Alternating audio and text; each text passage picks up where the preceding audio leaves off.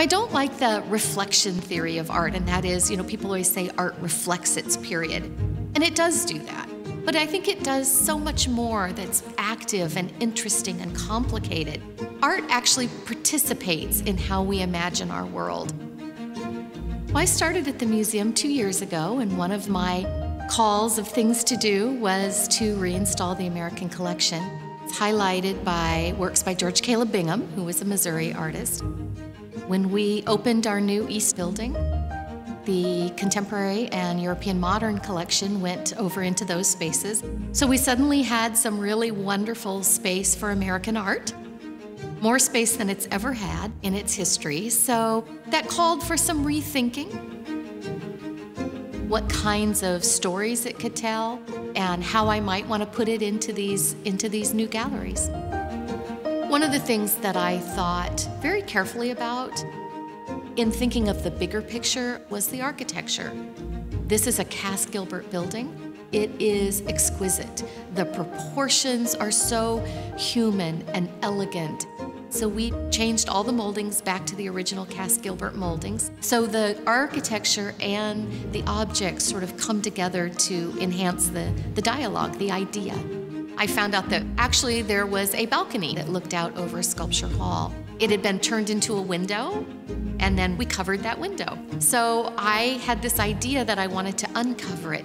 And then right there, we put one of the icons, I think, of the collection, one of the most beautiful pieces, which is a sculpture by a woman artist, Harriet Hosmer, and it's called Zenobia in Chains. So when you walk into Sculpture Hall and you look up, you see Zenobia letting you know that American art is up here.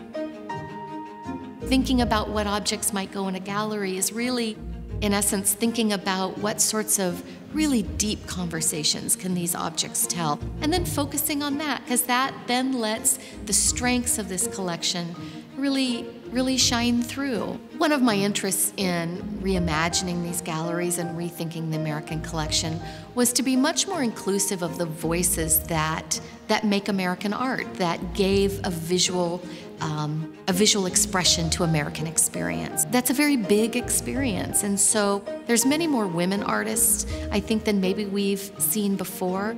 There are a greater number of African American artists, and so one of the guiding principles for me in these galleries was to embrace that, to embrace that sort of cacophony and and quirkiness and um, you know, all these people working and speaking um, in the American art world and in the American experience.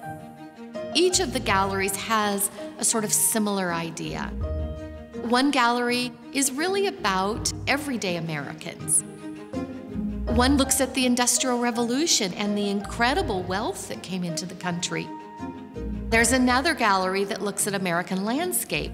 There's a gallery that looks at the new modern world both this idea of, of subject being modern and style being modern. One of those is a work by Horace Pippin called Sunday Morning Breakfast. Part of the imagining of these galleries and the idea that you wouldn't just walk through and look one to another object to another object, that it would feel like a space and it would give you a sense of that time. The colors on the walls are all period colors. We included wallpaper in two of the galleries, so you would get this layered feel and this richly textured feel.